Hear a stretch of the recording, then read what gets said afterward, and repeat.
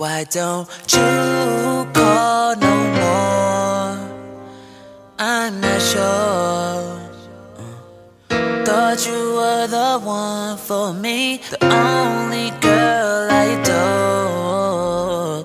Now you I wish that I could just rewind, take it back in time. A couple years to when you was just a friend of mine. Around the time I started noticing that you was fine. The bigger notice was to notice why you wasn't mine. I recognize I made mistakes, girl, I'll admit it. Didn't see just what I had, shorty, I was tripping. If I told you I'm a mess, would that make a difference? I traded my success for you in a minute. Second, probably roll your eyes when you get this message.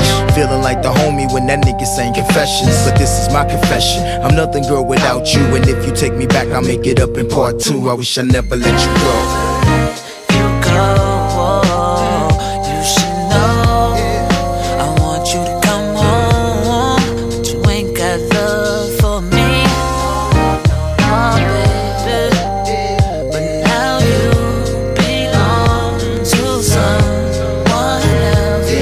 Hate the situation's different, but my heart's the same. I hate the fact we gotta play these little stupid games. I hate the fact another nigga fucking my girl. I hate the fact another nigga fucking my girl. You see, the past is the past, can we leave it there?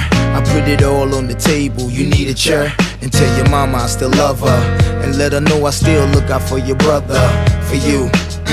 And when I think about the things we used to do, wishing I could rearrange time and start new.